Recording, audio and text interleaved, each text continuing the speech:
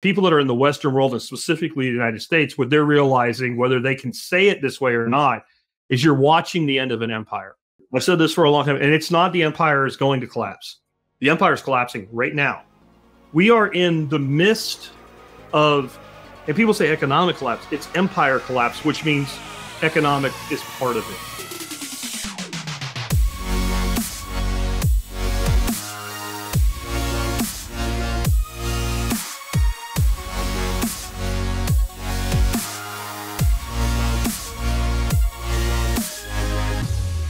What is up, guys? Welcome back to Bitcoin Audible. I am Guy Swann, the guy who has read more about Bitcoin than anybody else you know. The show is brought to you by Swan Bitcoin and CoinKite. Swan is where you're going to buy, uh, where you're going to buy Bitcoin, where you're going to plug your life into Bitcoin, where you're going to learn about Bitcoin. And the Coldcard hardware wallet from CoinKite is where you are going to put your Bitcoin to keep it safe. They've both been longtime supporters of this show and they bring this to you. And they also have amazing products and services. So definitely check them out if you haven't. Now, today, we talk a lot about the coming financial crisis. Well, the, the financial crisis we are in the midst of, the banking crisis that is starting to ramp back up. We just talked about it with Preston Pysh. But one thing that I realize I get a lot of questions about and I don't talk a lot about because there's not really one good answer for it. It's a pretty broad topic is what do you do? How do you protect yourself during a banking crisis? Honestly, how do you survive a massive global monetary shift away from fiat back to better money? And so that's why I have my good friend and like legendary podcaster Jack Spirko on the show with us today. Uh, if you don't know Jack, he does the Survival podcast. I've been on with him a couple of times. I think he's been on here on Bitcoin Audible once, maybe. I'm not even sure, but he's. Uh, I consider him a good friend and uh, also incredibly knowledgeable about self sufficiency, about survival, about how to make sure, like how to think about. There's a there's a lot of kind of like canned things that people say, "Oh, do this and do that," and it's amazing how much bad advice are in kind of the normal things that people think they should do. You know, when there's a crisis or when there's a supply shock or when just the general availability and reliability of the normal system, so to speak, the grocery store, comes into question. And money obviously is a hugely important topic around that. And this might need to be two parts um, because we actually had to stop short. So we might actually continue this, and that'll be a really good option to, or a really good opportunity to get your feedback to see like what questions were you hoping were asked? What questions did you want to ask him that we didn't get to cover uh, so that we can do this when we bring him back on the show? So, without further ado, let's go ahead and get into this uh, really, really fantastic conversation with Jack from the Survival Podcast. Jack, thank you so much for coming to the show. This has been kind of a fun little like game of tug of war with the internet and our schedules and everything. Yeah. Um, Yeah. but uh, uh, I'm I am seriously jazzed about getting in this, and I think the anticipation is building. It's getting a lot worse. so uh, uh, let's get right into it for the second time. Uh, we thank you had for to- coming to the we- show. Yeah. We had to schedule it three times, and then we had to try three times to actually do it. So that's there you go. there you go, three squared. Dude, uh, for the audience, uh, why don't you uh, give that introduction again? Because I think it's important that they hear it. And for anybody who doesn't know who Jack is, uh, you're missing out. You're missing out. You're about to hear. Thanks for having me, man. I am the host of the Survival Podcast. We've been running almost 16 years since June of uh, 2008. We've done 3,460 odd episodes as of today. Uh, we've won podcast I of the still can't twice. with that shit. I still can't. That's Yeah. ridiculous. What? podcast of the year twice.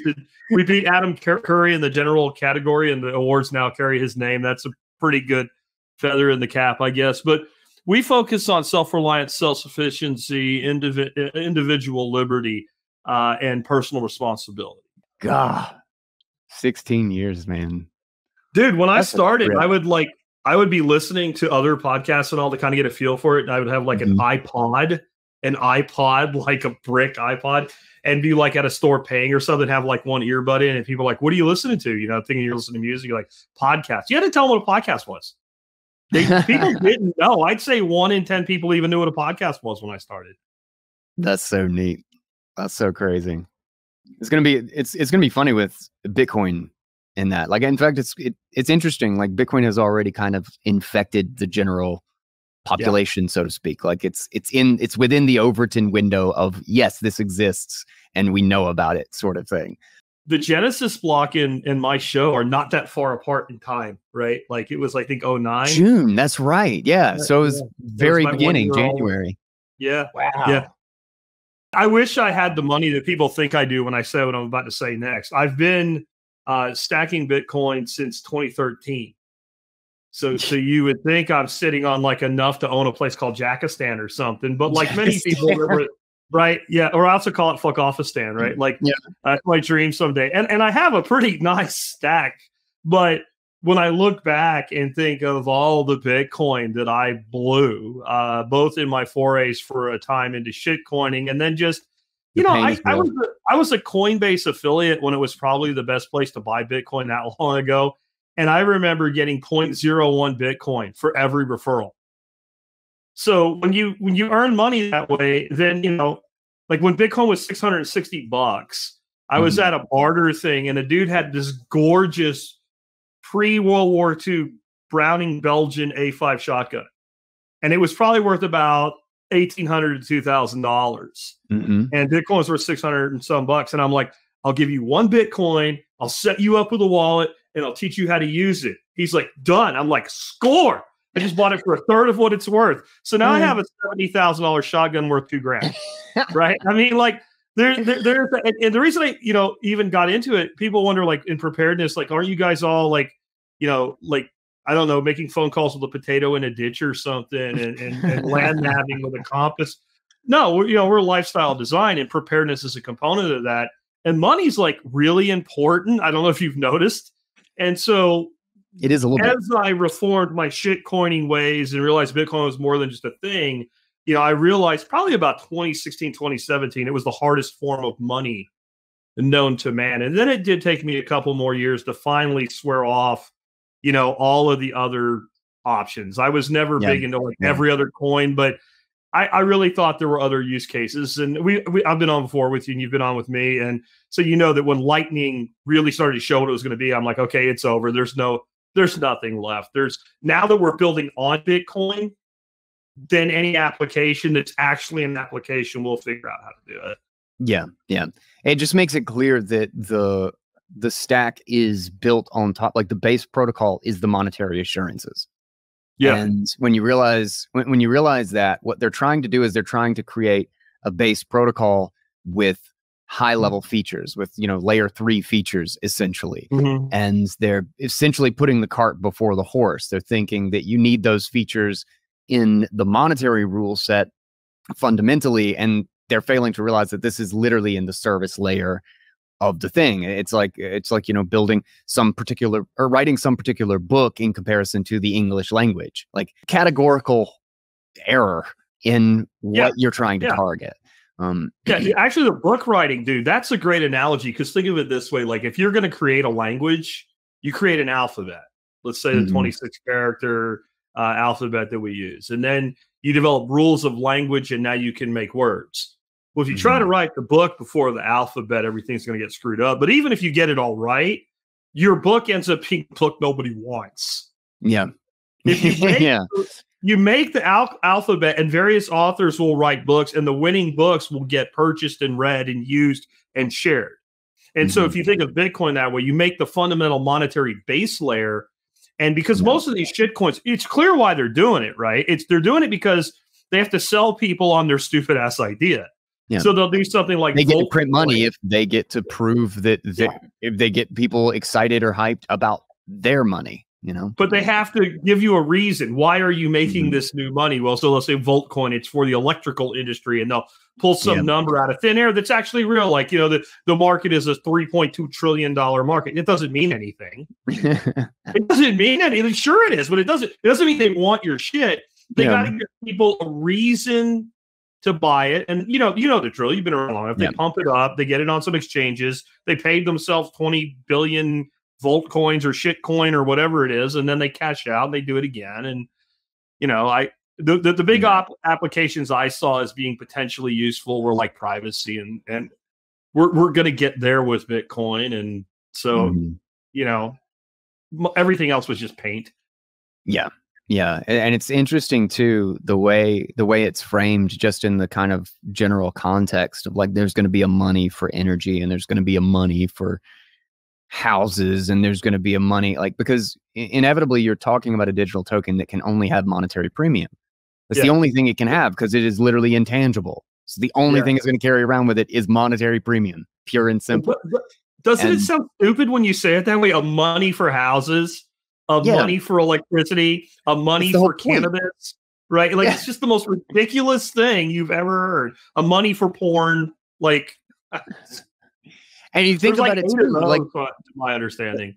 it's fundamentally like anti-monetary theory like like anti Yeah. the purpose the raison d'etre of money itself is to not have to barter and Yeah. now what i'm like you know when they say something like it's a 3.2 trillion dollar market for energy production or whatever the hell it is you're immediately asking it's like okay so you want to be a middleman? Between Yeah. me and my energy? Like by creating a whole nother token and you're just going to swallow up all of the like the whole point of money is to be an independent medium to compare things against. Ha- trying to have some illiquid market like this crazy illiquid and fluctuating market with all individual pricing mechanisms now we need a central pricing mechanism for the horse token and the teeth token and the car token because wasn't that the point of having a money to begin with is so that you you could have a liquid market between the money and Yeah. everything but anyway jesus christ Yeah, well, Um, no, you know, so like it, you have to go back to uh, early trading days. Like so I I'm like a part of a hunter clan, Mhm. right? And you're part of a farming clan. And we come across each other in our travels, and I have this big sack of dried meat, and you have this big sack of corn, and we come to this agreement on exchanging it. But then we re- like, I'm like, dude, I don't, I'm anti-vegan. I don't- I have all the meat I want, and I'll give you some meat, but there's nothing you like. I don't want your corn. So you're like, well, I have an obsidian knife, and eventually, like the obsidian knife becomes the currency because it's durable and it has utility no matter who has it. And eventually, we came up with better monies than that, right? Mhm. So this was the reverse. Like you're like going into worse and worse forms of money. So like I have beef jerky coin, and, and you have corn coin, which I'm sure both of those exist, by the way. And if they don't, they they probably do. will in this altcoin shit cycle. And so Yeah. now we have to come up with an intermediary between our two. It- it's dumb. yeah It's so stupid. And when you, like I said, when you say it that way, like we have one money for housing and one money for electricity, like all of a sudden it just sounds as dumb as it is. Yeah, yeah. Um, so uh, that's that was always a, a fascinating part for, and you know, there's still a ton of new people um coming in, so it can't be it can't be repeated often enough to to try to make it make sense because it's so easy to get confused in the crypto world. Yeah. Um, but uh, I wanted to have you on the show specifically Okay. because, uh, uh, as I as we were talking about before this, is I've had a lot of people come on the show and I've had tons and tons of conversations in trying to analyze and break down why there is going to be a collapse, why there is going to be a massive shift that's happening, and all the ins and outs and theories and philosophy behind that. But one thing that I do not talk about very much, and I get a lot of questions about too, is what the hell do you do during and after? Or I guess, what is it going to be like during and after? And what do I need to do to protect myself leading into that, aside from just understanding that it's going to happen? And I just recently, this was just so kind of epic and very prescient, I guess is the word, um, of a post that I saw, and somebody reposted it on Reddit and said, Man, I have never heard anybody put this so clearly. And they even made a comment that it's like one of those things that you're not even aware of until you hear it spoken. And then you realize it's been sitting on your, it's been weighing on your chest for a long time. And this was the post that the that he was referencing. It says, I am 57. Not only does it feel like something wicked this way comes, but there is also this feeling that the whole world is holding its breath, almost as though we are all waiting for some catalyst or sign or event that puts an end to this feeling of being put on hold. This vague, unexplained unease that we feel.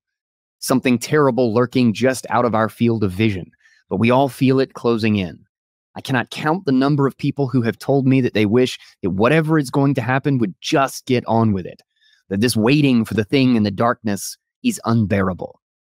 And I wanted to I wanted to hand that over to you sure. and start this conversation with that frame.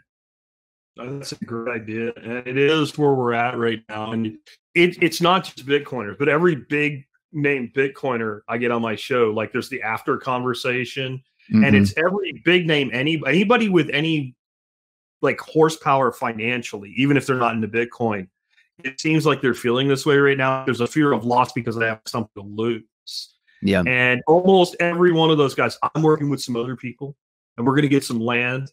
We're all going to get together and we're going to move in and we're going to, you know, they start talking about all the stuff they're going to do.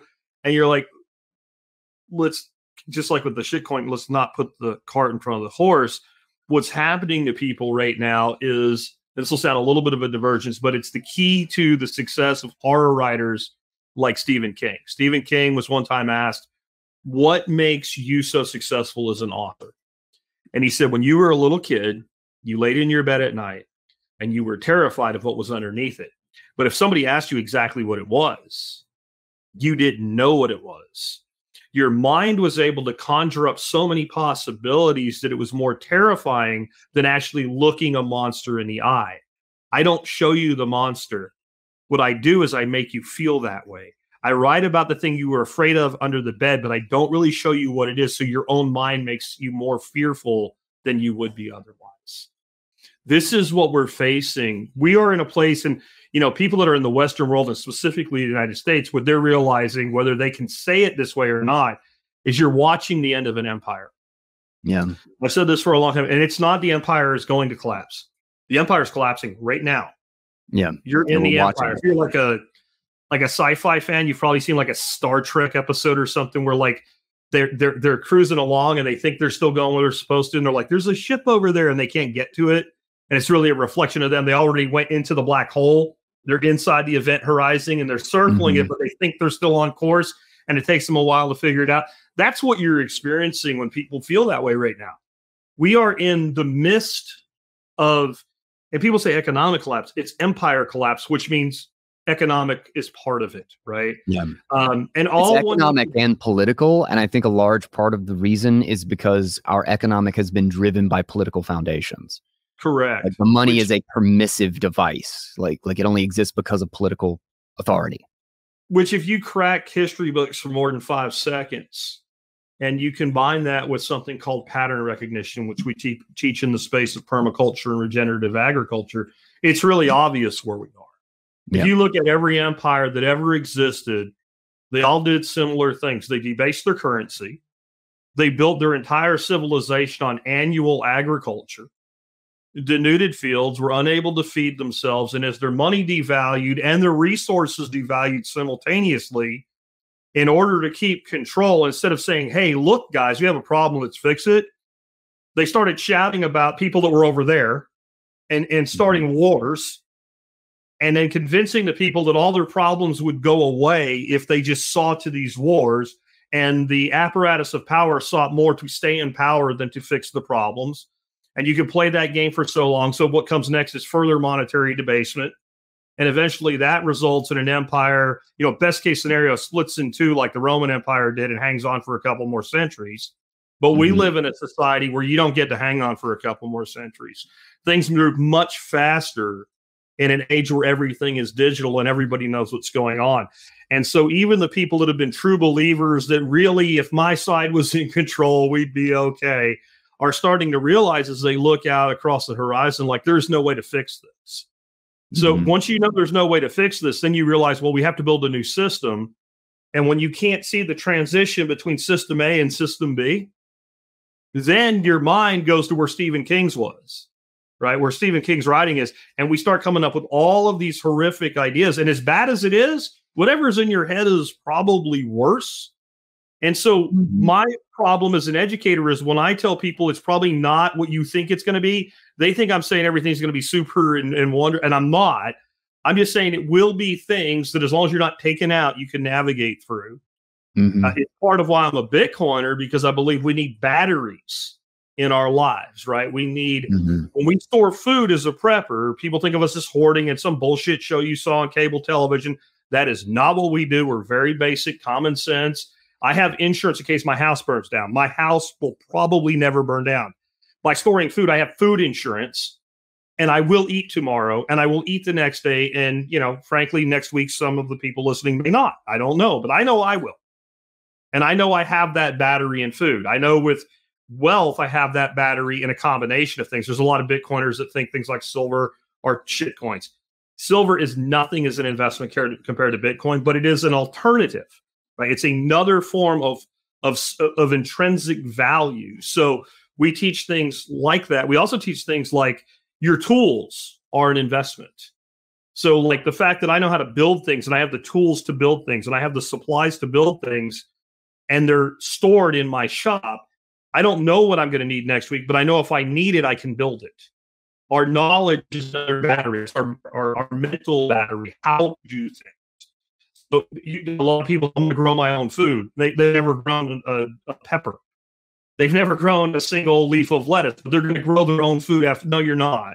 No, you're not. Anybody who's never tried it knows that your first, you know, efforts into gardening will suck, and it takes a mm-hmm. learning curve there. So the way that we approach this fear is to stop with this intellectual masturbation that someday we're all going to citadel right? And we're all going to be just fine while everybody is outside the walls dying, and they'll leave us alone.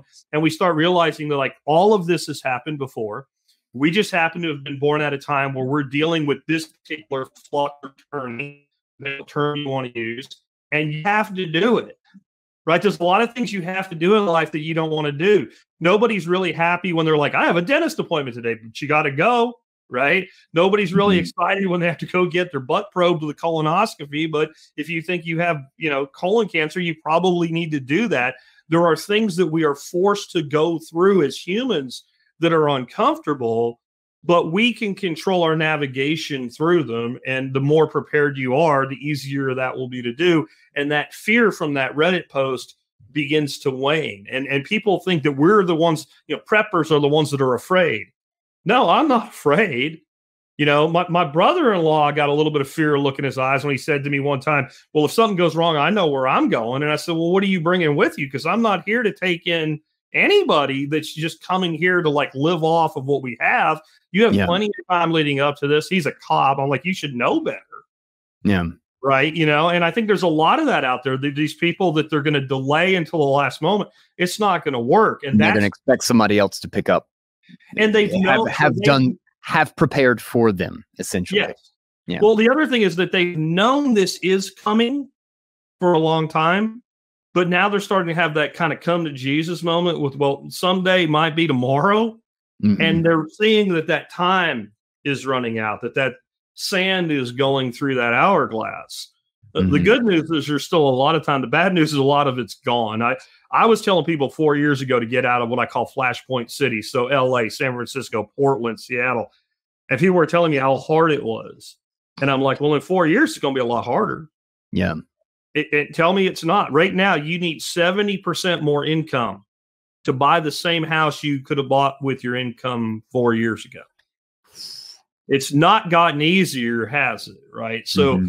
But the, the, the other side of that is, well, now it's harder. Well, yeah, but in four years, it's going to be even harder if it's even an option. I believe that the window for us to get ourselves away from some of the places we need to get away from is closing and it may never all the way close, but it doesn't matter if it's not all the way closed. Is it closed for you? Can you fit through the gap?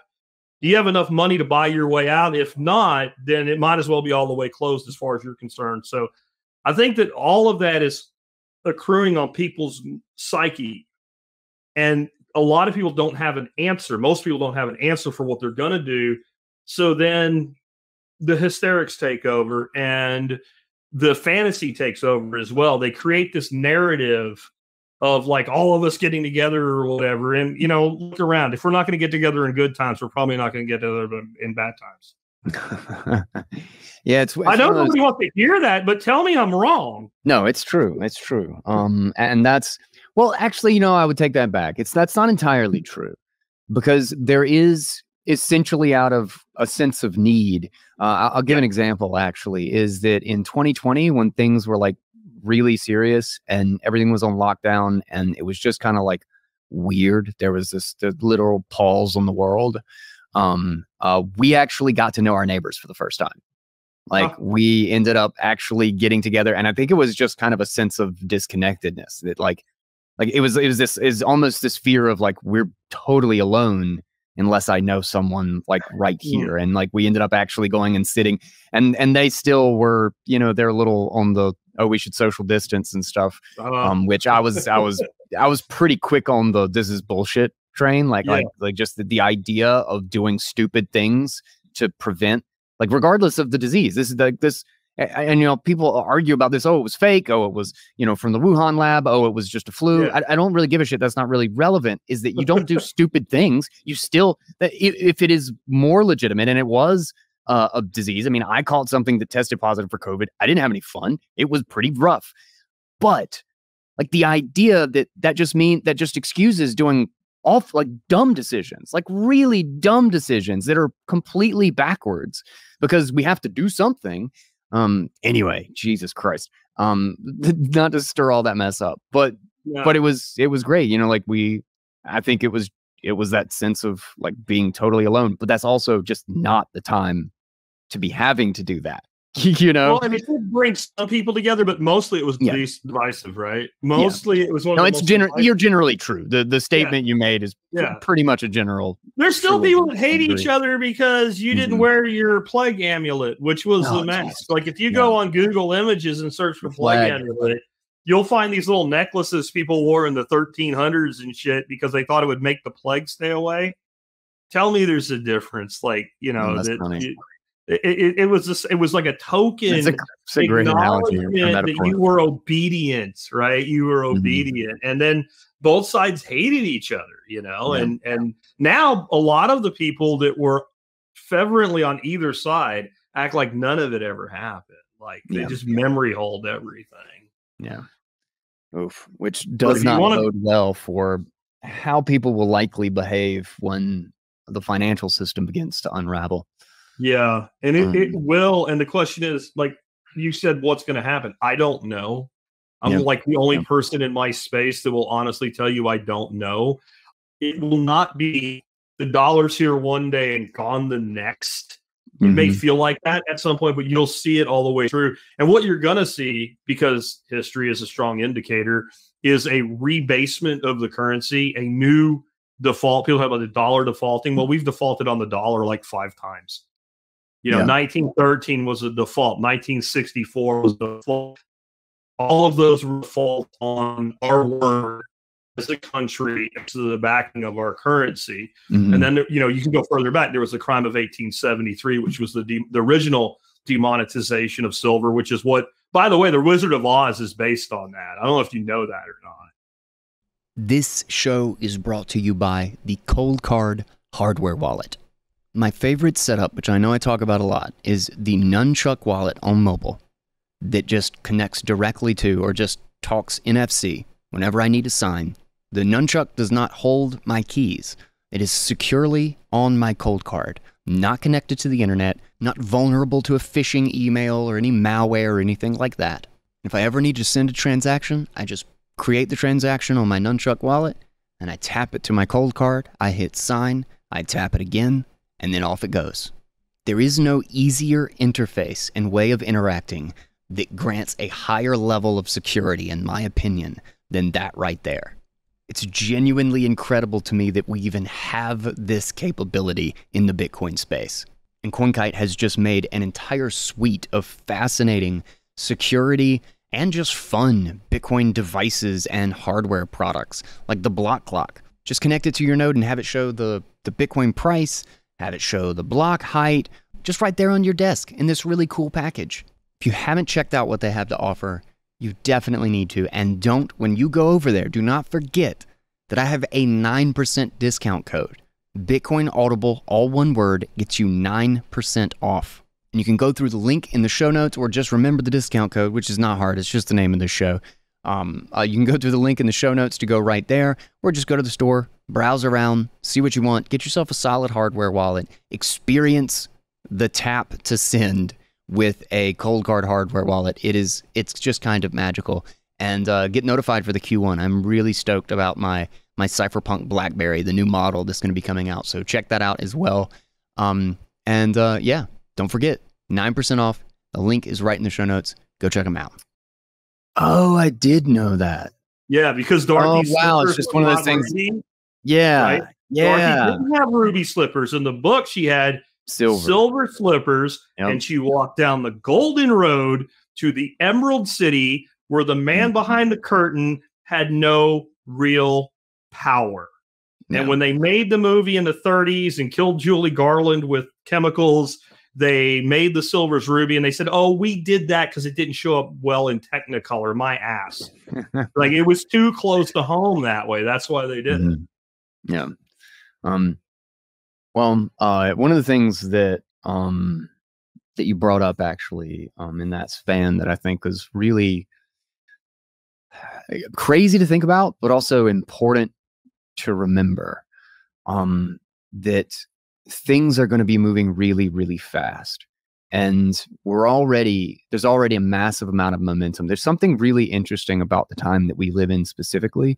I like to think about like the species and kind of how technology in our environment dictates how things change. Because um, I, I really think the story of history is the story of technology. Like it's about how it changes our environment and then the incentives and consequences of what it enables us to do within that new environment and what the new restrictions, how the new restrictions basically alter our power dynamics such that only a certain type of thing is generally stable. Um, and uh, but but regardless, and the idea that like things are speeding up.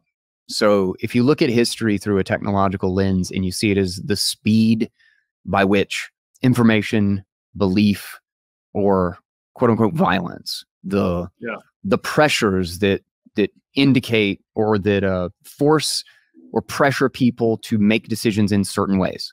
That I'm not going. I'm going to pay my taxes because I don't want to be in a prison well what is why why is that because there's systems and technologies in place that would allow them to find me and then put me in a big cage um and so like when you think about it as a con in the context of systems what you can think you can see is like all ideas and these developments and these these relationships and power dynamics kind of move through society like like a drop of water and then a wave right? And every every time the wave is bumping one molecule is bumping into another it's a it's a transaction it's a conversation it's uh you know it's it's movement from one area to the next to drop another you know uh, drop of water and cause ripples again you know if you wanted to get the state of the world or the state of the mindset or the culture from europe to the united states that ripple took six months to get there. Yeah. And it got there super thin and almost powerless like like it could just barely touches something and touches one person and then spreads. And now that ripple, like every ripple or every drop that lands is massive. It is insanely powerful and it spreads the globe in an instant. Like we are talking about hours from yeah. happening to important in everybody's mind. But true disruptive yeah. technology still has a rollout period, such as mm-hmm. Bitcoin, which sure. where many yeah. things and this is this is hitting on something I've talked about for a long time. I call it microwave culture. Mm-hmm. So, so I, am a bit older than you. I've been around half a century. Um, so I actually remember like when people didn't have microwave ovens, mm-hmm. and I remember being this little kid, probably seven or eight years old, and I was dropped off at this diner my grandmother worked at, and they have those it's old school diner with the spinny thing with the pie going around you know and she, do you want pie? Yeah. Apple? Okay. Do you want it hot? And i'm a little kid i want my freaking pie now. And I'm like, well, how, like I'm skeptical. Like I'm like, well, how long do I have to wait for it to be hot? he goes, a couple seconds, right? So she mm-hmm. takes this pie, shoves it in this big giant metal thing that sounds like a nuclear reactor, hands it back to me in like 35 seconds, screaming hot. Well, I, I was completely blown away by it, right? Like it mm-hmm. made like what what did you do? She's like, it's called a microwave. You know, two years later, we had one in our home, and 5 mm-hmm. years later, everybody had one. And it was just basically magnets making heat. That's all it really was. But it took time. Like the first microwaves go back 15 years before that. It took time for that to roll out. But because we live in this world where somebody does something in Moscow or Sri Lanka or Japan, and every if it's work, newsworthy, everybody knows it in seconds. Mm-hmm. We've gotten so much into this rapid movement that when something takes a little bit longer to happen, we convince ourselves it's not really happening. Whether yeah. it's the implementation of Bitcoin over, you know, 15 years, it's like people think it's slow. That's not slow. That changing a monetary paradigm in a few decades compared to history, it's rapid. Yeah. But this has always been the way. I guarantee you, when people first figure out how to make gunpowder, there were a whole lot of people going, This is a gimmick. This is not the future of warfare, whatever. You know, and there mm-hmm. were Guy Swanns and people like Jason uh, Lowery going, Hey, hey, hold on. This is a whole new power projection tool. Like, just because it doesn't do everything it's going to do yet doesn't mean you can turn your back on it. And the people that didn't ended up becoming car- conquering armies, and or did became conquering armies, and the ones that didn't, you know, they ended up getting shot. Mm-hmm. Right. And so every new technology you're talking about has this period of time it takes for it to roll out. And it also can be deceptive. Like I remember the debate what's the futures? Uh, uh, uh, DVD or no, VHS or Betamax? Mm-hmm. I remember that debate. And like it was a big time debate whether it was going to be VCR tapes or Betamax discs that were like as big as a record album. Yeah. And, and neither of those are anything today. And because once we got to digital, it didn't matter what media you were going to put it on because nobody put it on a media anymore. It was in a hard drive and it was transferable anywhere in the world. And so having this lag between seeing something, whether it's good or bad, and mm-hmm. it coming to fruition and impact is just the way things are.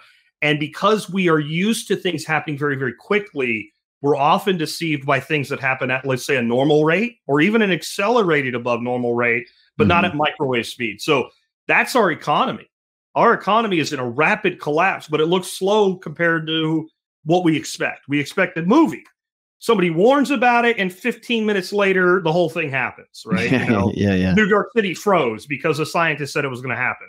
Yeah. You know, stuff like I don't remember what that movie was called, but you know what I'm talking about. Uh Day after tomorrow. Day after tomorrow. Yeah, right. Yeah. Like one of my favorite riff tracks. Later, like that's what everybody expects to see. That's not how life works. Like, yeah, it's gonna like freeze. And it's gonna be terrible in like hundred years. It's like, oh no, we're off by ninety nine years and eleven months. On TV right now, right? Like, yeah, yeah, yeah. Oh shit. No, that's a great that's a really interesting way to look at like human perception and think about the fact that we're everything so much movement and change in apps. Like I mean like even it, it's even hard to like find like a software foundation. I'm not just like constantly finding a new app or a new thing or a new development. Like especially mm-hmm. in like AI space is retarded.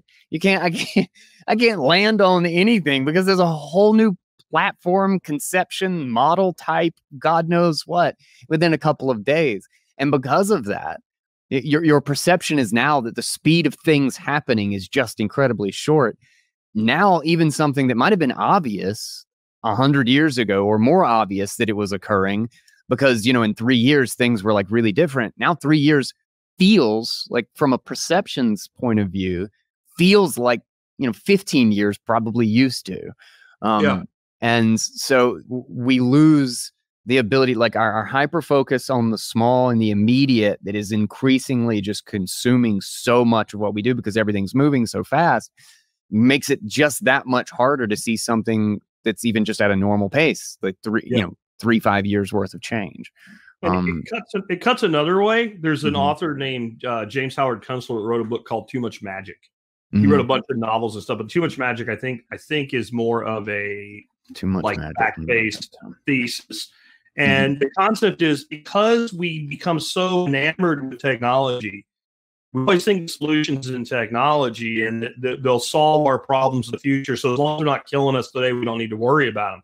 So food, right? Like so food is not going to be solved by technology anytime soon. We're not going to have Star Trek replicators, right? Where we can just Mhm. say, computer, I would like lobster thermidor, and boom, there it is. Like that's not coming. We need to fix the problem with the food system. Like we have one, we have declining production as we destroy our agricultural systems. This is, like I said, every empire that collapsed.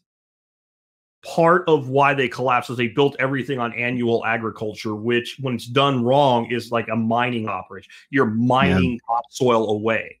Um, we we export more topsoil out of this country than any other commodity when we get no money for it though right by ton if you take the top 10 export commodities we still export more topsoil into our oceans and rivers because of the way that we do things we have to fix that like the magic won't fix that just because That's interesting. What is what was that statistic again? we Um, export more topsoil every year than we do any other 10 commodities by tonnage. Now we don't export it like put it on a train and Yeah, yeah, send yeah. it somewhere, right?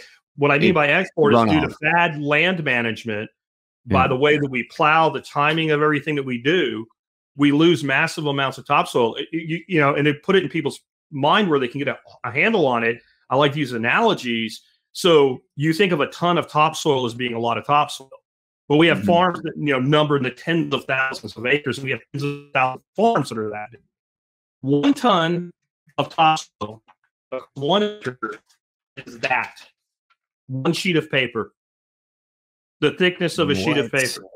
So if you're losing 10 sheets of paper on a thousand acres a year, you're losing 10,000 tons of topsoil. There's, you know, surveys that are done by like NRCS where they show a guy standing up on a hill and then there's a field here and he's got a two meter stick measuring sticks sitting down there and it looks like it's a hill. Well, no, what it is is that was never farmed. And that's 200 years of farming has dropped the level of the Wow. land by six feet. And so we can't fix that with high technology. We can fix that with advanced agricultural technology. That's part of what we Yeah. talk about. Cover cropping, no till, Man, that's crazy. system, right?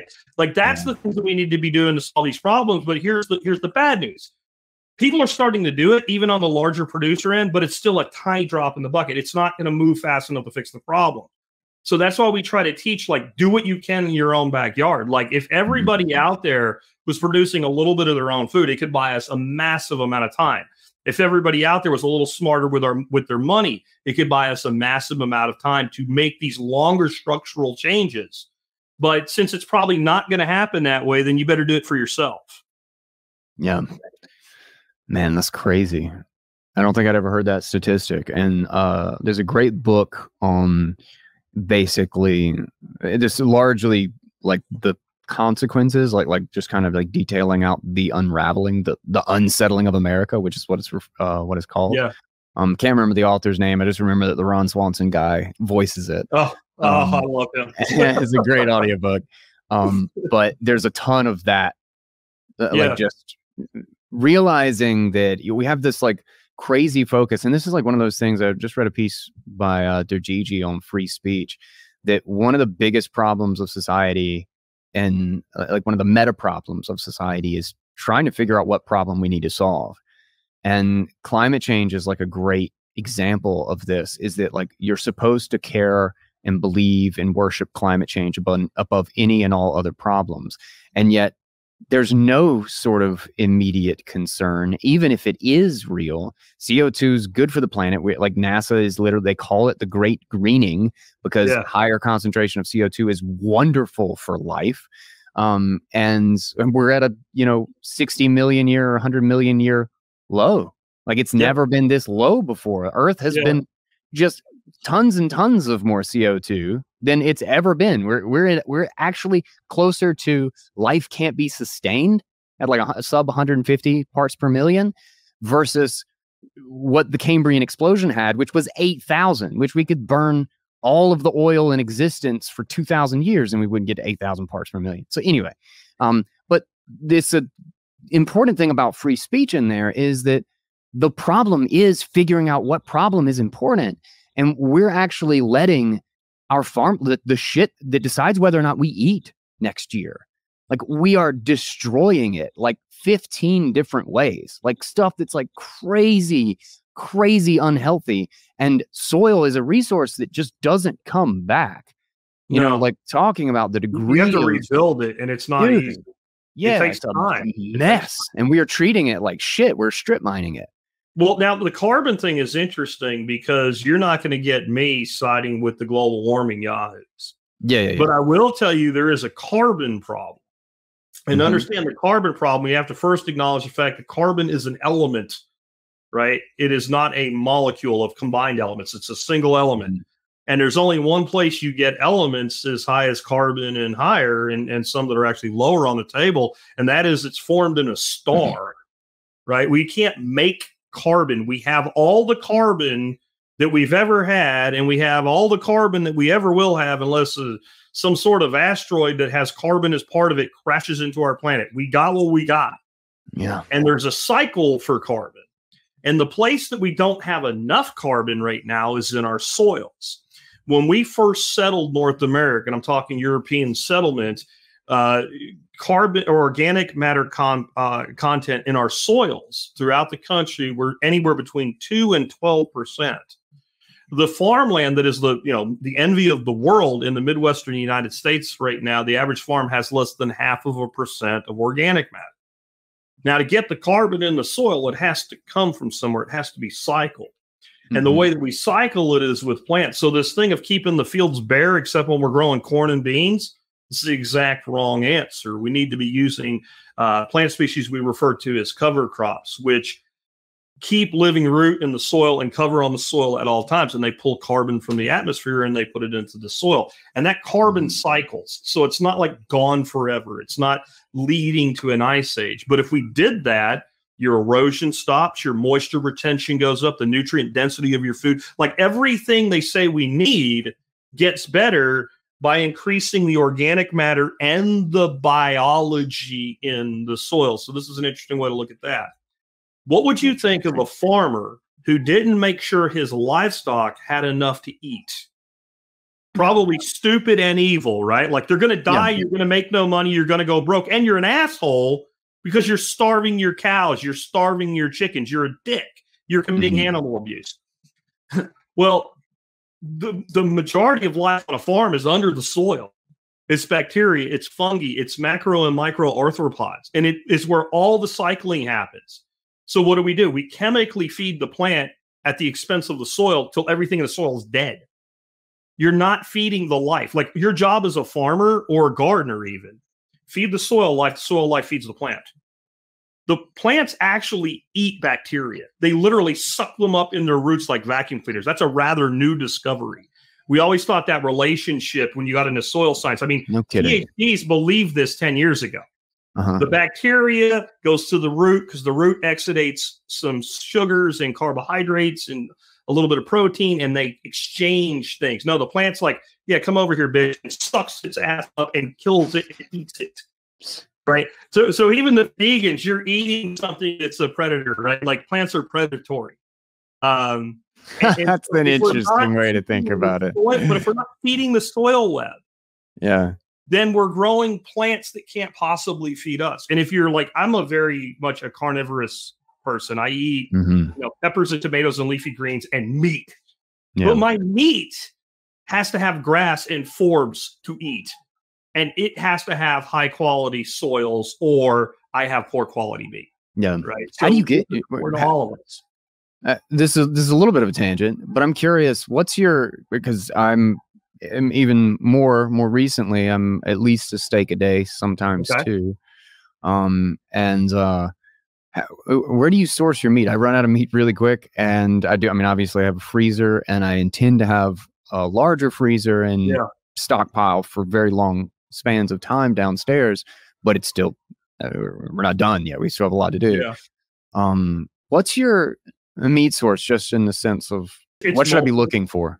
Yeah, I mean it's multiple, but for example, I have a dude that lives a mile down the road from me that I buy a half Mhm. a cow from every year.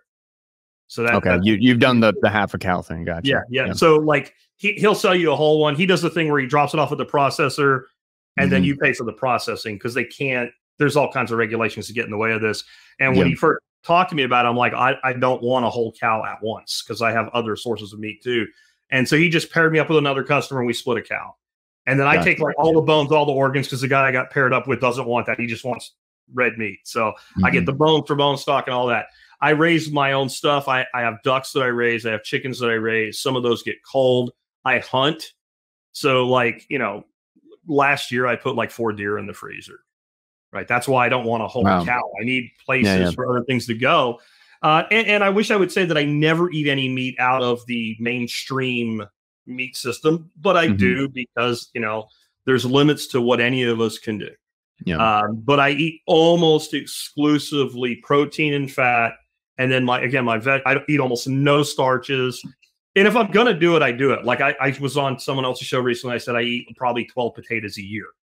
And he's like, all at once. I'm like, no, but you know, like I, I don't eat anything made with seed oils. I mean, that's a huge yeah, yeah. Me neither. like no Stay away from that shit. oil, no fructose corn syrup, no words I can't pronounce on the label. Yeah. Like none of that shit. Like even if you're gonna live off more conventional starchy vegetables and stuff like that, cook from scratch.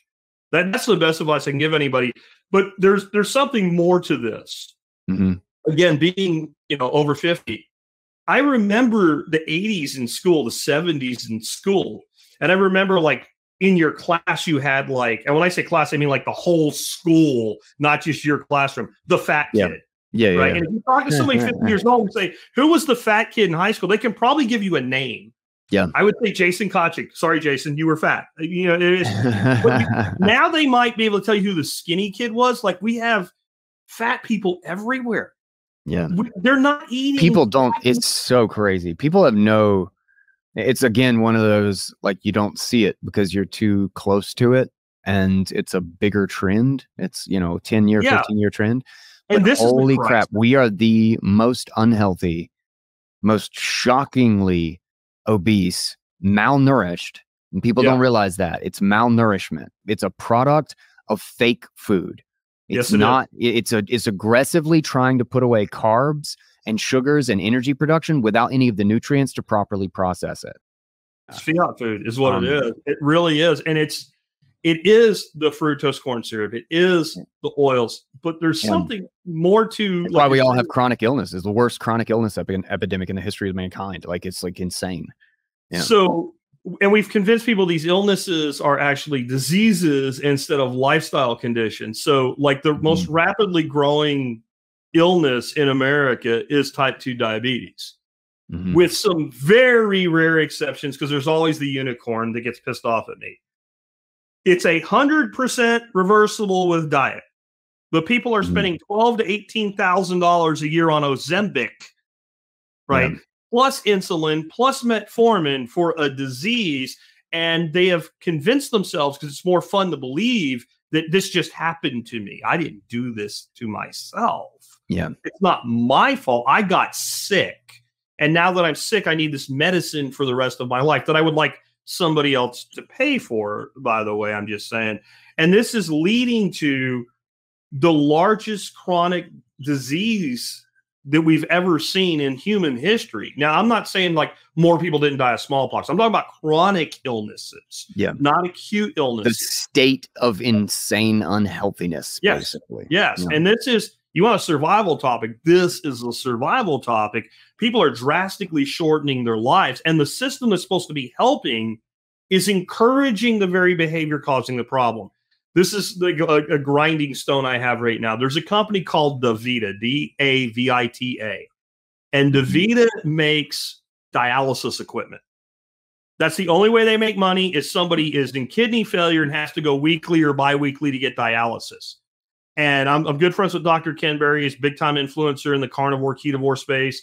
And he made a statement on my show one time, and I, I just kind of like it's a little hyperbole. He's like, there's more dialysis clinics than there are Subway sandwich restaurants now. And then I started paying attention to it. And son of a bitch, between my house and Fort Worth, which is about 20 miles, on one state highway, there are three, guys, three dialysis clinics, two owned by DaVita. DaVita is a strategic partner with guess who? The American Diabetes Association. And they get together and they formulate recipes for kidney health for diabetics because, of course, DaVita, who has 6,600 dialysis clinics, wants less type 2 diabetes and yeah. less dialysis customers because that will benefit them. I don't know how. Some of their recipes include things like oatmeal cranberry breakfast cookies. You're telling an obese person with type 2 diabetes oh to eat oatmeal cranberry cookies for breakfast this is done wide out in the open. And, you know, when I, I talk about a lot of things, I get a lot of traction. I can't get any traction with this. Nobody cares. Nobody gets like that is like Satan having sex with Satan and making baby Satans. Right out the open, and it's everybody's okay with it.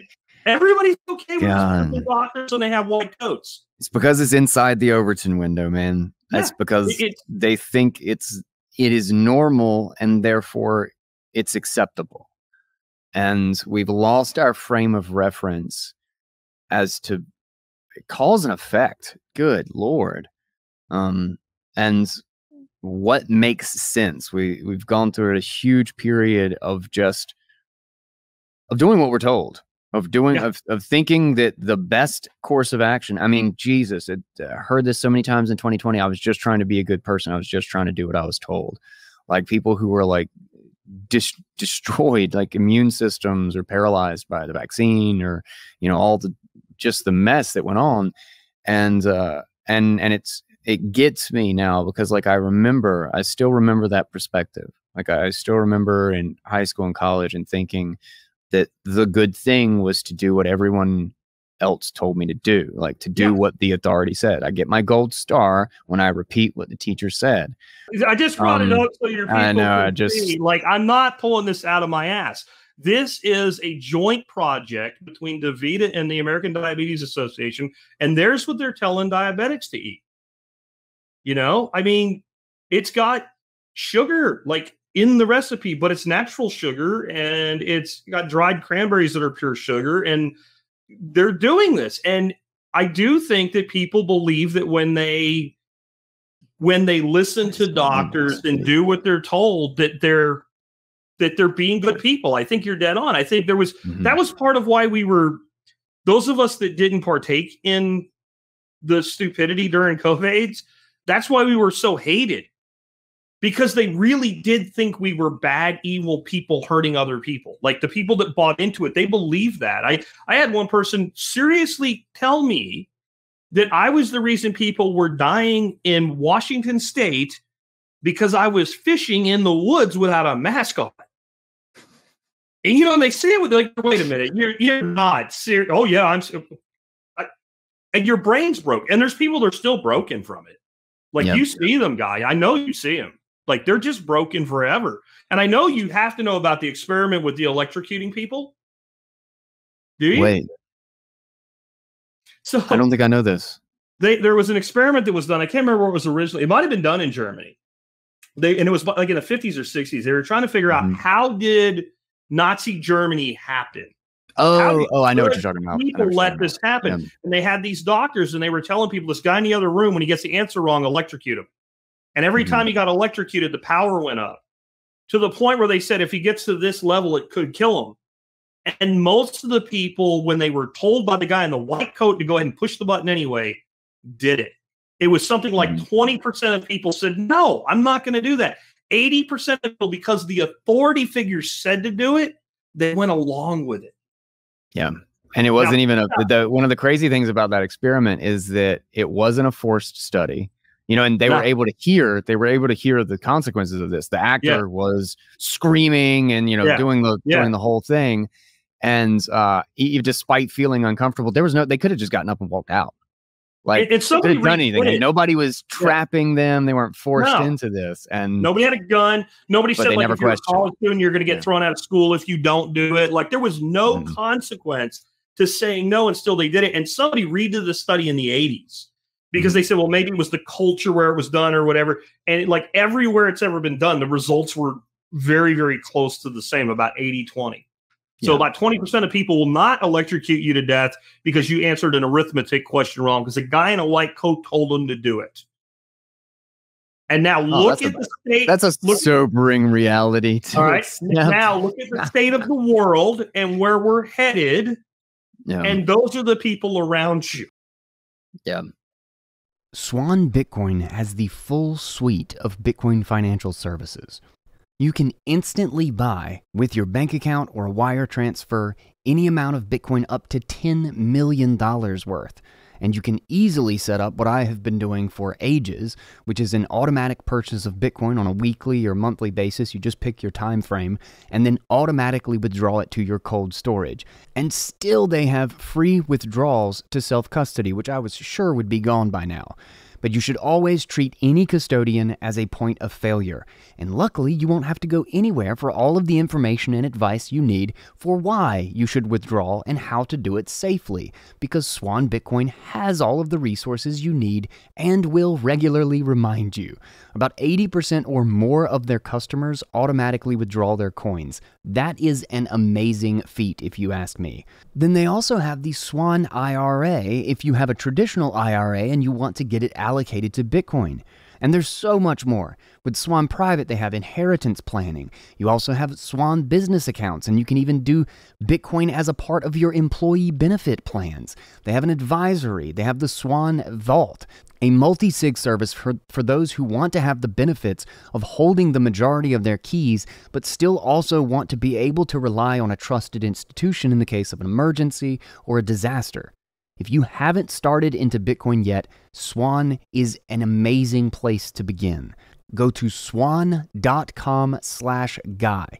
The link will be right there in the description. Again, that is swan.com slash guy. And they will know that I sent you, and my beautiful face will be right there at the top of the page to greet you.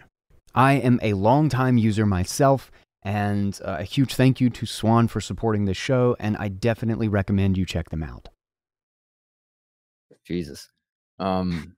So speaking of, But preppers Uh, are crazy, guy. We're preppers are crazy. Preppers are crazy. Crazy, yeah. preppers are the only ones that were probably sitting pretty in 2020. Oh, my life didn't change, dude. I mean, it really didn't. Like, I just Really? went on with my life. Like, nothing, nothing really changed. Like, some of the restaurants I like to go to were closed. That was, Yeah.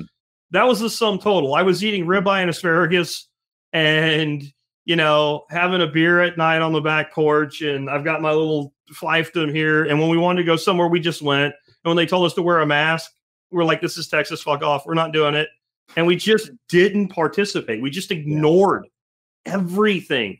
And the good news is this dynamic works in reverse. So, you know, you walk into Walmart, some minimum wage person is sitting there. Would you like a mask, sir? No, I have three of them. And you just walk past them. Mhm. And then they sit there like, well, I'm not tackling this dude. for Eight bucks. Yeah. an hour. I'm not doing. So you go through the store and you get some weird look, but then some of the people that are in there with their face diaper on, they look at you and they realize they look around and they're like, oh. And then you, you start seeing like half the people Yeah. because I had I had I had one of those moments with somebody Right? actually in Yeah. an aisle. It was it Yeah. was pretty funny. And it is it is pretty amazing too with the perception of all of the force that was involved. Think about how much of it wasn't actually backed up by anything. I think a lot of people made the mistake of being combative about it. Yeah, and no. I was always super polite and Yeah. be like, "Oh, I'm sorry, I'm just not doing that." Yeah. And uh, and then I would just immediately pull them into a different conversation. Like I would just ask them an arbitrary question, like, "Do you know where so and so is?" And then they just Yeah. engage you as a person, Yeah. and you just go about your way. Um, I did get some looks, and I do remember hearing somebody um say something. "Uh, Is anybody gonna put a like? Is anybody gonna say, tell him about the mask or something? Something. Um, Yeah. And uh, it was at Whole Foods. No. okay. Oh well, there. And, uh, yeah, uh, uh, but other than that, you know, outside of making the situation uncomfortable, clearly a couple of times, it's pretty much is pretty much a nothing burger. Uh, granted, this area also wasn't like horrendous about that sort Yeah. of thing. where, where are um, you at? I'm in North Carolina. Oh, okay, okay. People are pretty hospitable and Yeah, tend to want to be nice over being a dick. It's not a New York Yeah. sort of situation. Um, so uh, but and nonetheless, though, like the pressure was there, and like one of those things, one of the things too, just in the thinking about how to, um, uh, kind of prep for when things do get rough is one yeah. of the most important things to do is to be willing to let it get uncomfortable. Yes, is because so much is driven by the fact that people don't want it to be uncomfortable. Therefore, they will do some bad thing or they will compromise on th- something.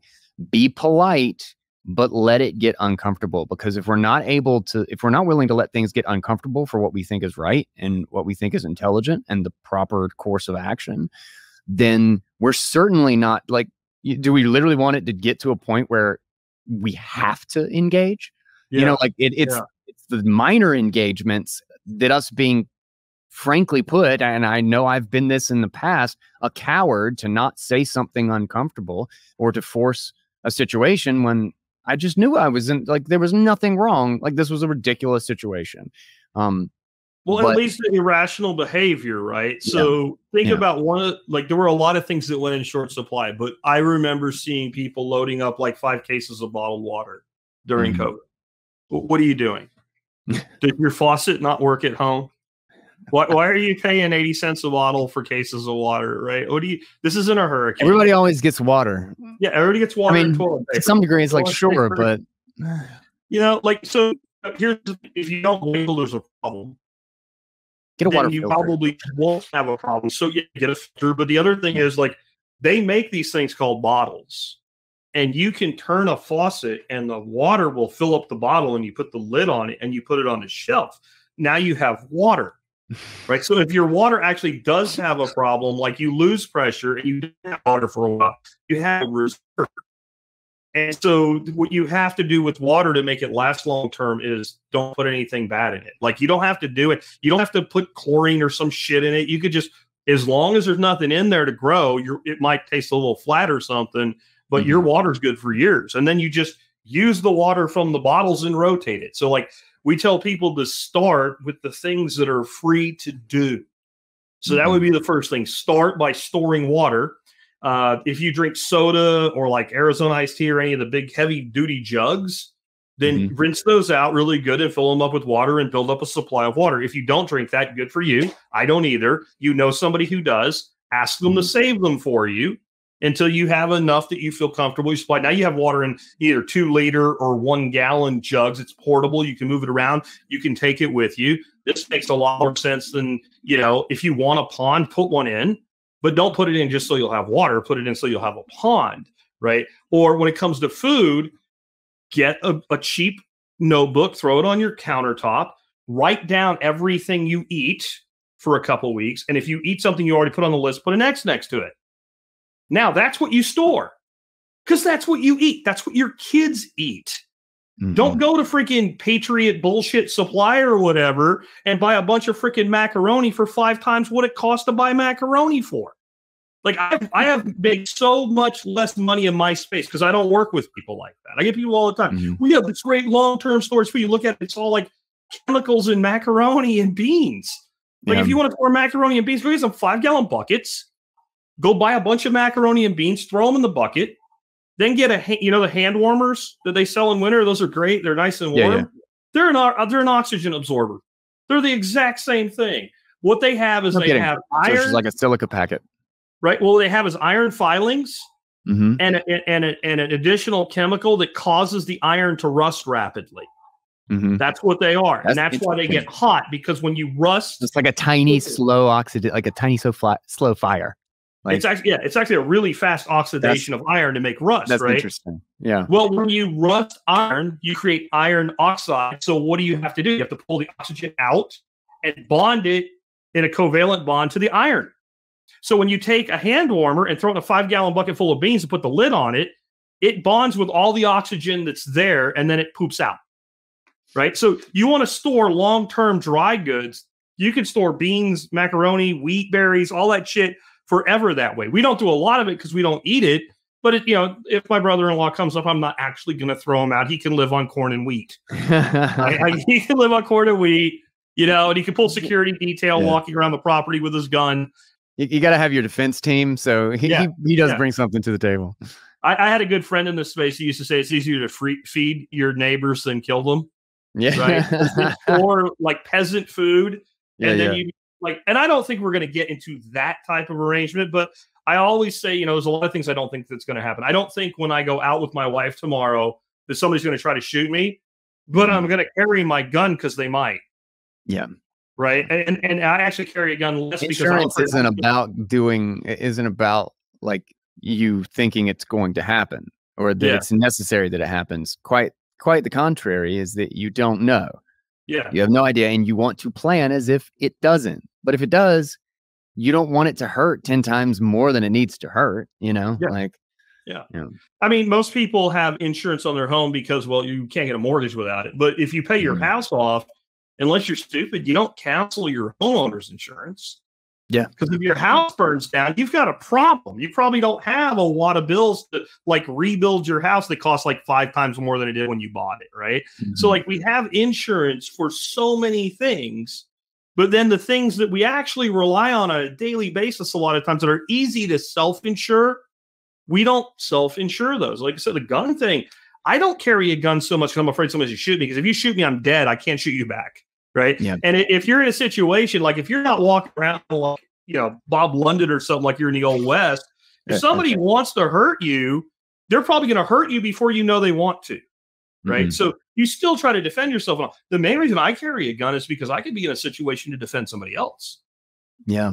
Because I'm in an ideal situation when I'm the third party and I can observe the interaction. And if you watch a lot of That's an important perspective. That's a that's Yeah. an important thing to think about is that it might not be you that's even in danger. It might be somebody else and you're going to be the only everybody else is going to stand around and film it, Yep. you know? Yep. Like And if it's a mass shooting, just because you're not the first one doesn't mean you won't be in the in the order, but at least now you have a way to respond. I mean, you know, basic preparedness to me, you, you square square up your your six primary survival needs. So Yeah. you've got food, and we kind of talked about that already. Basic copy canning is what we call it. Buy the store where you eat and eat where you store. And we probably don't have enough time to go much further than that, but also holistically produce some of your own food and no local producers. Like you do that, you go a long way right there. Water, okay, we kind of covered that. Make sure you have water stored in reserve. Uh, you need uh, security, and security is the one that most people fall back on. They either go crazy with it and they build Yep. up like this arsenal, and they're going to fight World War '97 when the Belgians come and gas us with the World Trade Organization or whatever bullshit's in their head, right? Or they do nothing. They do Yeah. nothing, and the reason people do nothing with security is it's the one survival need you can live your entire life and not worry about and maybe it won't matter because somebody else is providing it for you but the minute that apparatus security ends up being a tragedy of the commons situation where people people basically are free riders Yep. on their neighbor. Like if my neighbor has a security system or there is a, a police officer down the street, you know, like that Yeah. sort of thing. Yeah. Like it, it's a and collective. it's a facade right because point. the minute That's a good some point. dude decides he doesn't care about the risk and he Mhm. walks up and puts a screwdriver between your third and fourth long, uh, rib you've got a problem it doesn't matter that a cop might show up sooner or later you've got Yeah. that problem now or if the whole apparatus breaks down But my Mhm. point with security is, is you can do without it for one millisecond when you need it. When you need it, you have one millisecond and it's gone. So we shore up security. That's that's more than just a gun. That's situational awareness. I recommend everybody have at least a basic understanding of basic martial arts, how to handle your body and move. Understand that if you have a gun and there's an altercation, it's an armed altercation. Like you come after me, you don't have a gun, you're trying to beat me with a rock or something. I pull my gun out. If I don't know how to handle myself, I'm as likely to get shot with it as you are. Yeah. I don't need to be good with the gun. I need to be go- good with my body and how I move my body and how I control it, right? If I'm the party of attack. So we shore up security. We also need to worry about energy. In wilderness survival training, we don't call it energy, we call it fire. Right. So if you go take a bushcrafting course, they will teach you how to make a fire because if you have a fire, you can cook, you can dry clothes, you can stay warm, you can make tools. Well, in our society, what we have for that is electricity right? And and and various forms of other fuels like propane, uh, diesel, gasoline, et cetera. So I mean, I recommend everybody have at least two to three weeks of backup power capability. what's your dominant way to do that? I'm I'm curious. I'm I'm in a pretty populated. I'm on like kind of the edge edge, not Yeah. quite the kind of suburbs of a city. Um, and so, but it is also rural. You know, it's it's Yeah. North Carolina. So, um, Your easy your- answer is a generator. Your easy A answer is a generator. It's just going to have. It only goes so so long, right? That's your. Mhm, the- This is where you break into self reliance and self sufficiency. mhm. So self reliance will measure in time. So if I have a generator and I have enough gas to run that generator to run my systems for three weeks, I have three weeks of energy self reliance.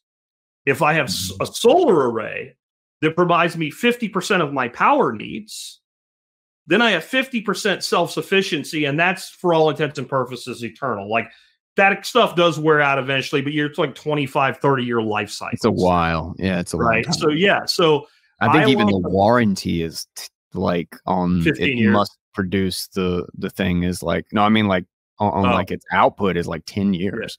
Um, It's- they've gotten they've got they've progressed a lot. It's So panels panels will generally degrade by two percent per year, Interesting. Okay. right? So it's it, it does it, it's like compound interest in reverse. Yeah, so yeah, it does accelerate as you go on, but you'll generally lose about two percent of your production cast capacity uh, a year. But twenty years, you're still making a lot of power out of let's say a four or six K system. I like the hybrid design of those because now you can have solar you can install battery so that you're storing the solar energy you have a generator that you can top up the batteries Mhm. on low out and then you have kind of the best of both worlds. I don't have everything that i would like to have with that. We're all limited. Like right now i'd rather have more bitcoin. I know that sounds crazy for a prepper to say that but th- they could shut my power off and for a good month i wouldn't really have to worry about it. And that's just a function of storing enough fuel to run your generators. If you're doing gas you know i have a real simple way of storing gasoline and it, it's it's good all around and that is you go out today is it's march go out and buy a gas can today. If you can't do a bunch of it at once you're going to do it one at a time. Buy a gas can this month get a sharpie marker write a big number three on it. Fill it up with gas. When you go to the, the gas station fill your car bring it home and put it on the shelf in your shop. April put a four on it. Keep doing that till you get all the way back around. You got 60 gallons. When you get back to march take the gas can dump it in your vehicle go fill it up fill the can up put it back on the shelf you will never have gas that's too old you'll never have gas that goes bad you don't need stabilizer you don't need anything because you're cycling it through you want 20 gallons of cans every month It's like a cache. it's It's like a like a computer cache. Yeah. a battery it's a fossil fuel battery instead of an electric battery right Mhm. so you got to shore up your energy needs. Um, you have to worry about health and sanitation. So if you're on maintenance medication or whatever, and you don't have 90 day supply, you need a doc. Talk to your doctor. If your doctor will not fix that for you, you need a new doctor, right? Yeah. And then try to get off of what you can. Like I said, we have tons of people with these chronic diseases. If they would change their lifestyle, right, they would be so much better off. Five years ago, I weighed 70 pounds more than I do because I got really comfortable with my success and I Mhm. could have a drink and eat in the middle of the day. So I did. And I did that for a number of years, even though I was talking about being healthy. It just, it can happen to anybody. And when I decided to change that, I had already understood the low carb thing, but I had just discovered like the keto thing, getting a lot of your calories Yeah. from good, clean fats, getting off the seed oils. I did that in a weight just, I mean, hell, there's a video of me dropping a 35 pound plate.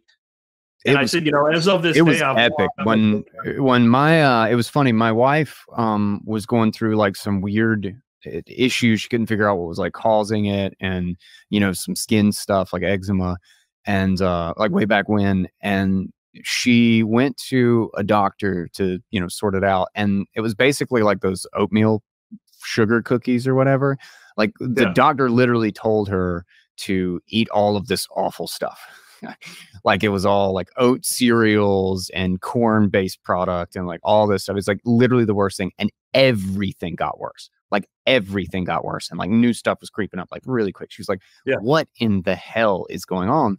And uh and it was funny, that was when she found paleo, she found the whole uh it starts with food and the kind of Whole30 theory, you know, the the perspective of Mhm. eating eating single ingredient foods and then working backwards.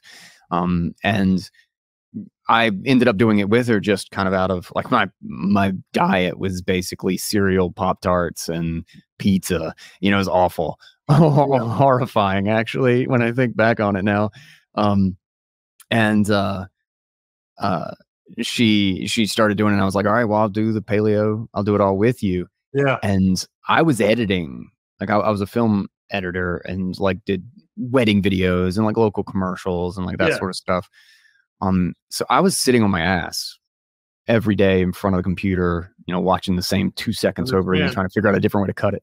Um, and I lost like 15 or 20 pounds in an insanely short amount of time. And I was never a heavy person. Yeah. Like I've always been a lanky dude. But like I suddenly was just like it was funny. It was like I was just kind of like a little bit swollen everywhere. Like I was like puffy cheek. Like I look back at the pictures, I'm like, oh my God, I'm like a like a bubble. Like you know, it's like weird. And like suddenly, like I had definition in my face and like all my I was like, what in the hell is happening? I just switched to bacon and eggs because I didn't know what else to eat. And I just was like, I was straight up just eating bacon and eggs all Yeah. the time. And some Yeah. green beans out of a can. Yeah. And that's it. That's my whole diet. Like, and that's basically what I got now. I'm bacon and eggs in the morning. Cheat or whatever is uh, banana and eggs made into pancakes. Two, Okay. the only two ingredients, and like my son loves it. Um, Yeah. uh, but and then steak, you know, and but it's it's like night and day. You know, it was crazy. Yeah. Okay. Um. Well, I want to go back to the battery thing really quick. What's Okay. and I'm just curious about your setup because I know like Bitcoin and I'm and I get on people about this like eh, Yeah. you're all you should all feel guilty if you still aren't using Bitcoin day to day. Like if you aren't utilizing it and learning the tools because if the shit hits the fan and Bitcoin is the only thing, you better sh- Yeah. you shouldn't be learning then. You're shouldn't be correct. I learning. agree. Anyway, um so on the whole battery thing like eh, you're you're out in the wild you have a lot of land. Um Yeah. do you just not have three acres. It's not huge. It's yeah, yeah, yeah. modest. Um, in the context of like the the average person who's like Yeah. was like, Yeah. okay, I have a sort of a backyard. Um, uh, what uh, how is your solar setup and your battery situation to, and and what do you probably rec- recommend it more? I run primarily, honestly, off grid. Uh, not off grid, off the grid. I don't have a Mhm. huge amount of uh, alternative energy. I rely mostly on generator and fuel for outages. I have Okay. some solar. I have a basic in my closet. I have a battery system that's made of 12 uh, standard at lead acid batteries, and Mhm. that can run my entire office for like two days. Wow. Uh, okay. So that I can sit in here and I can still work Mhm. uh, without bah, going on out there.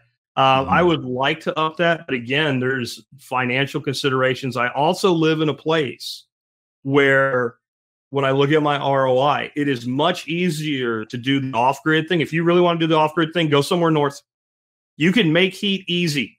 Cut Yeah. trees, stick it in a stove, and burn it. You got all the heat you want, right? Mhm. keeping the house cool.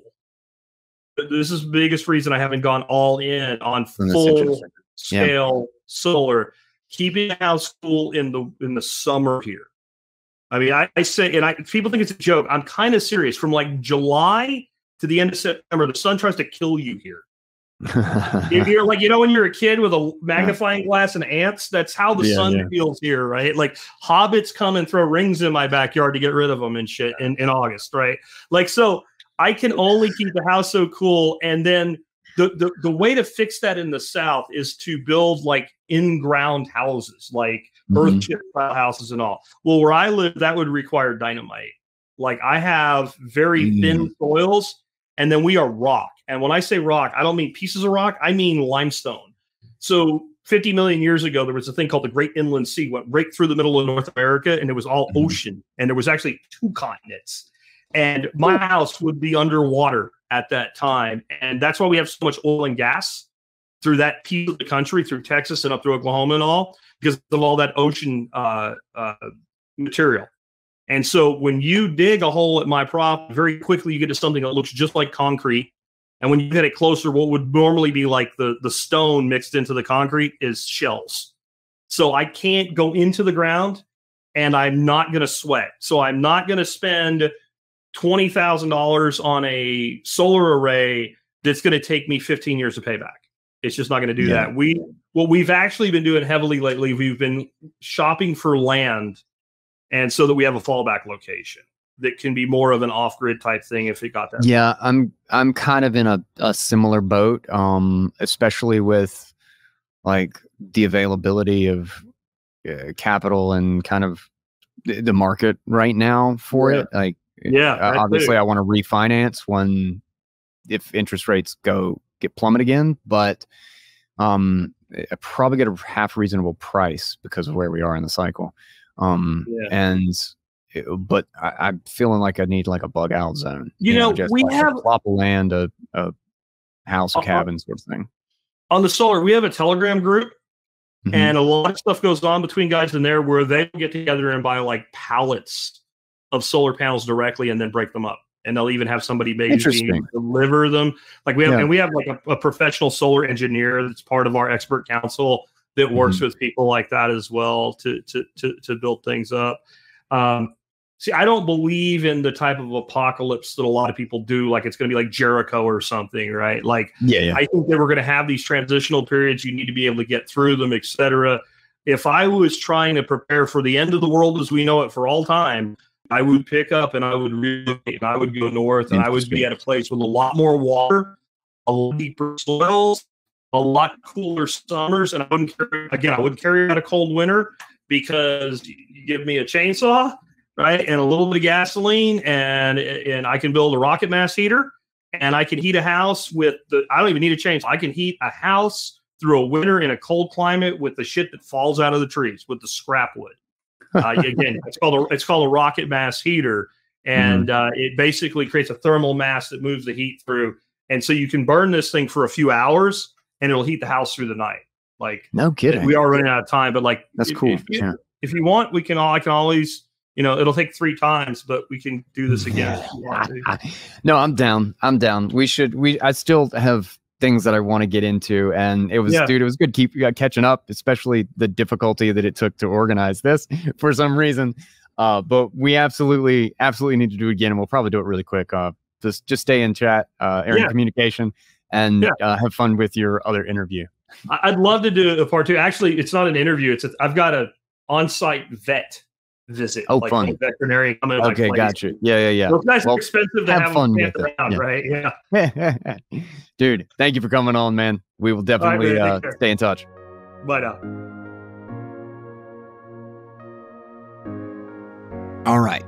I hope you enjoyed that episode, that conversation with Jack from the Survival Pod.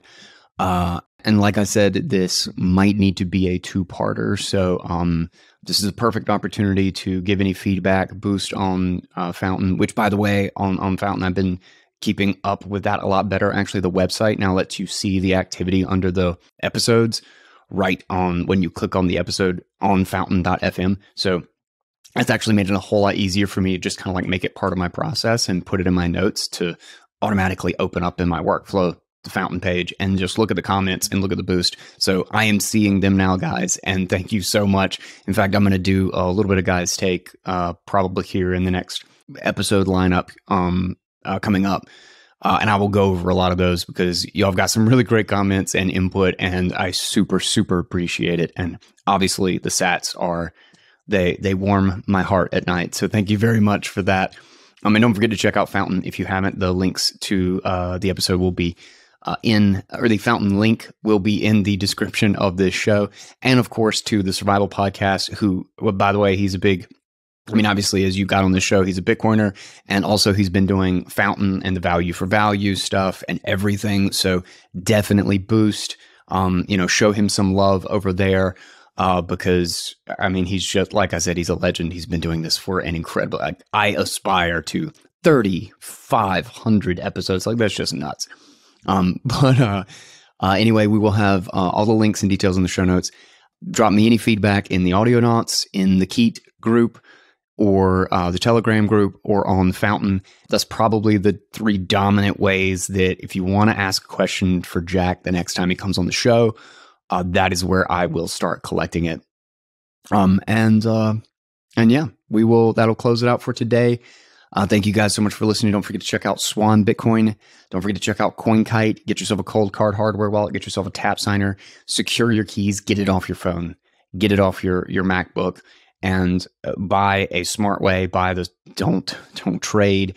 Just just get it simple. Get it automatic with Swan. It's just easy. It, like it's it's not going to be in your way. It's going to be simple. Their app is great. Check them out. Like the simple way to do things is to mm-hmm. just buy regularly, don't trade, don't look at charts, and just put it on your hardware wallet. Just just get it into your custody and separate your keys from your devices, and you solve ninety percent of the issue, ninety five percent of the dominant issues and concerns in the Bitcoin space right out the gate. All the details, uh, discount codes, special links, uh, all of it will be right there in the show notes for you to check out. Uh, if you're looking for an easy, safe entry into Bitcoin, you've got it right there in the description of every episode of this uh, podcast. So, with that, thank you guys so much for listening. Don't forget to subscribe. Don't forget to share this out with other people you know who wish to survive the banking crisis and the coming monetary shift. And I will catch you on the next episode of Bitcoin Audible. And until then, everybody, take it easy, guys.